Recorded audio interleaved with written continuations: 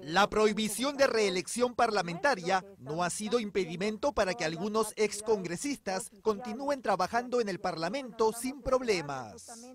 Bancadas como Alianza para el Progreso, Fuerza Popular o Acción Popular han contratado a ex legisladores como asesores del grupo parlamentario o en específico del despacho de algún congresista.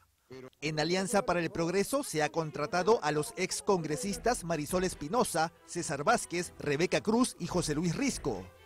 Mientras que Fuerza Popular incorporó a los ex legisladores Carmen Lozada, Dítel Columbus, Miguel Torres, Rosa Bartra y Miguel Vivanco.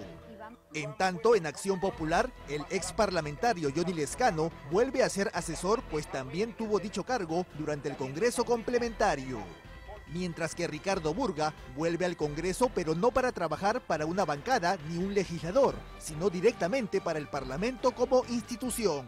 No hay ninguna ley que prohíbe que los, los ex congresistas laboren en el Congreso, sino que me lo digan para poder yo retirarme del Congreso. Es más, no es la primera vez que yo trabajo en el Congreso, esta es la tercera vez que yo trabajo en el Congreso. Y creo que, en lo personal, creo que me sirvió mucho haber laborado anteriormente en el Congreso para poder tener una labor congresal como la que tuve en los últimos 16 meses. Burga ha sido contratado como profesional en el Departamento de Investigación y Documentación Parlamentaria. Según fuentes del Congreso, a dicho puesto se accede por medio de la mesa directiva presidida por María del Carmen Alba. Sin embargo, Burga asegura que la presidenta del Congreso no tuvo ninguna injerencia en su contratación. No, eso depende de la DGP, que es la Dirección General Parlamentaria. No depende de la mesa. No, no, no, no, no.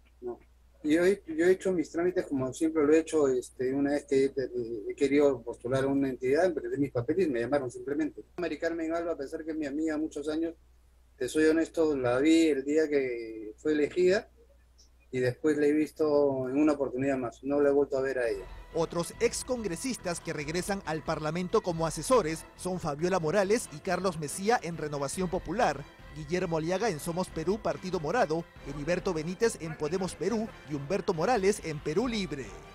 Por su parte, el congresista de Acción Popular, Ilich López, indicó que cada contratación debe ser sustentada.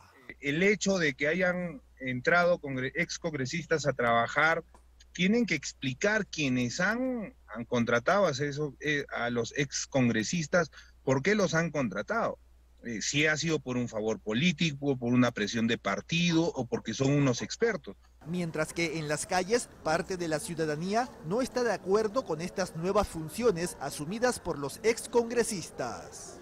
Son unos sinvergüenzas, simplemente unos sinvergüenzas, que aspiraron a ser lo que fueron y ahora que han dejado de ser, tienen una ambición desmedida. Lamentable para nuestro país porque no hay remoción de ese tipo de personas, ¿no? Y siguen enquistadas una muy mala imagen, tanto de valores como de moral. Me parece muy mal, ¿no? Considero que debe darle oportunidades a otras personas y creo que ya mucho tiempo han estado allí y considero que deberían ya salir, ¿no? Por último, la ex legisladora María Teresa Cabrera del partido Podemos Perú ingresaría como jefa de la Oficina de Cooperación Internacional del Congreso.